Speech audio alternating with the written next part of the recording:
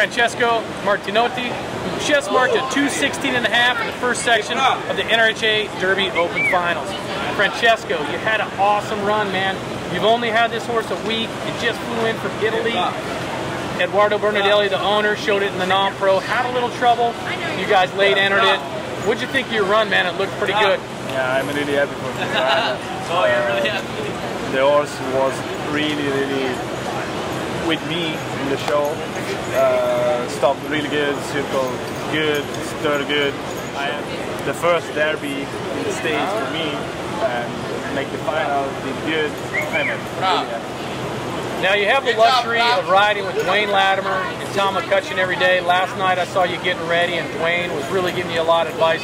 What's it like being able to have Duane Latimer, $2 million rider, in your corner? What's that like?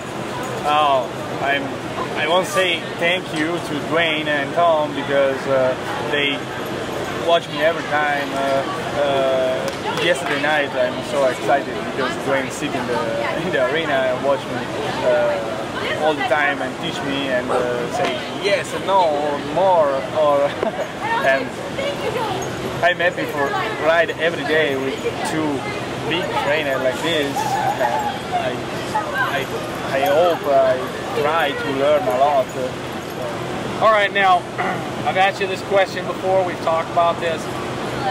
How are you dealing with your swamp ass? Oh it's bad. yes, it's humid here. it's bad. Now, so in Italy, you don't have the high No. humidity like this, right? No, no, no. Like it's completely different. Yes, Yeah. completely. We're here at the 2016 NRHA Derby. The, the level four, second section of the Derby Finals just got finished. NRHA professional Peter DeFreitas. Peter, you didn't make the finals, but you were up there in the stands watching. Do you think the judges got it right? Yeah, I think so. It was pretty good finals. I mean, Casey had a really good run, and I mean everybody was going for it. But I think I think he was the winner. Now you have a turn down for what hat on. Were you, were you rooting for Brian Bell the whole time? Well, yeah, of course. I mean, turn down for what? That's right. You, you've made the finals several times. Um, you know how hard it is to make the finals at these major events. What's it like when you don't make the finals? Do you have to stay, uh, sit in the stands, and watch your friends all go in there and show? It's terrible. I mean, it's like it's probably one of the worst feelings ever, actually. Worst feelings ever. Yeah. All right. All right. Well, you, you've made the NRBC finals. You made the Derby finals, the Futurity finals. What uh, What's your dream in the show pen? What, what's your dream doing? Winning the fraternity. Winning the Futurity. I was, I was thinking about that today. I just want to run through that gate one time and take my hat off and be winning something. and, and do the run for the roses. yeah, yeah, exactly. We're here at the conclusion of the NRHA Open Derby Finals NRHA professional Gunny Mathison. Gunny, didn't make the finals, which is unfortunate, but you were up there in the stands watching everybody show. You think the judges got it right?